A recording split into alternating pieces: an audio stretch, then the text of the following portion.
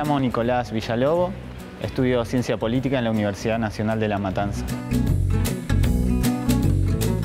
Eh, no pude quedarme a estudiar en Catamarca debido a que la universidad me quedaba lejos y tampoco tenía posibilidades económicas de poder costearme un viaje hasta allá y la estadía y lo que sería alquileres y demás.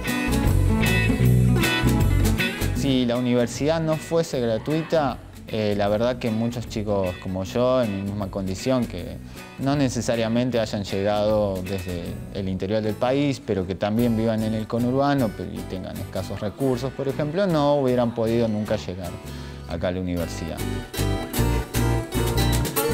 Que la universidad sea gratuita significa que los estudiantes no paguen aranceles para poder hacer sus estudios.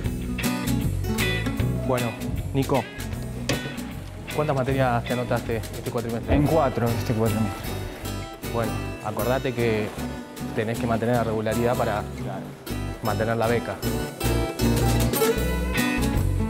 La Universidad de La Matanza, entre los programas que tiene de, complemento para ayudar a, a la quita aranceles, tenemos, por ejemplo, becas que son becas económicas, becas de apuntes, becas de comedor, becas para deportes, becas para hacer idiomas.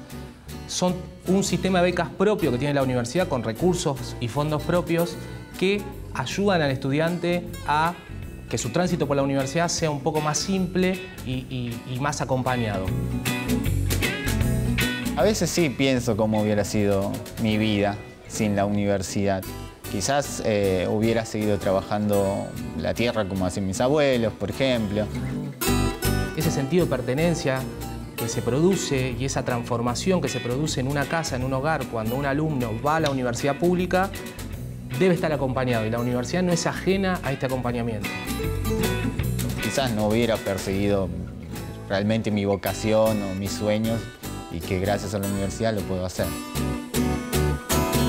la, gratuidad es realmente la única herramienta de transformación social del estudiante que pasa por una universidad pública, pero también de ese núcleo familiar, de esa ciudad o de ese país.